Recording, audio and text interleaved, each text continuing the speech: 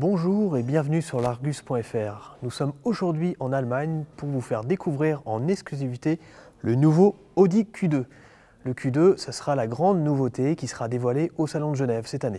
Alors le Q2, ça fait déjà longtemps qu'on en parle sur, euh, sur l'Argus.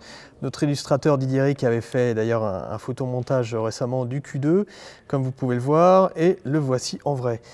Donc euh, on remarque bah, qu'on n'était pas loin de la réalité, même s'il y a quand même euh, certaines choses qui changent, notamment au niveau de, la calandre, du dessin du bouclier, mais surtout euh, de ce que Audi appelle le blade. Donc c'est une partie à l'arrière qui est colorée et qui contraste bien avec le reste de la voiture. Le Blade, comme l'appelle euh, Audi, c'est vraiment l'élément caractéristique de ce nouveau Q2.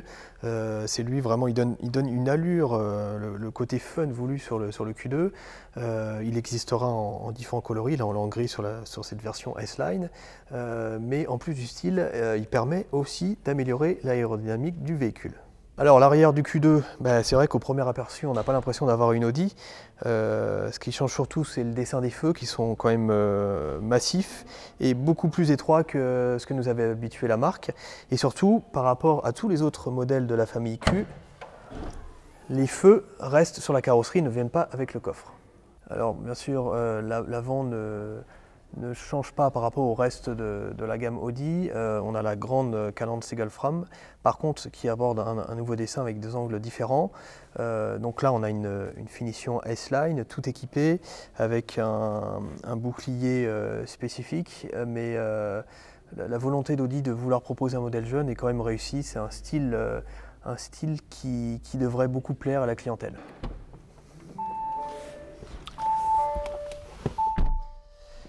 Bon, à bord du Q2, on n'est pas trop dépaysé par rapport à, tout ce qu'on connaît euh, chez la marque.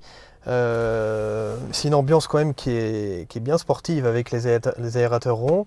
Surtout que là, on a une version avec euh, des inserts rouges qui lui donnent un, côté sportif vraiment agréable. au niveau de l'équipement, on retrouve vraiment tout ce qu'il y a de, de nouveau chez Audi. On a le Virtual Cockpit, on a la, boîte S-Tronic qui sera proposée sur certaines versions, le système MMI avec un grand euh, écran GPS. Le seul inconvénient c'est que l'écran euh, est fixe, ça c'est un peu dommage. Euh, mais sinon, même au niveau de la qualité de fabrication, le Q2 a beau être le, modèle de la famille Q le plus petit, on reste au niveau de ce que fait la marque habituellement. J'espère que vous aurez apprécié cette première vidéo du nouveau Q2, euh, le petit SUV urbain d'Audi qui sera dévoilé à Genève.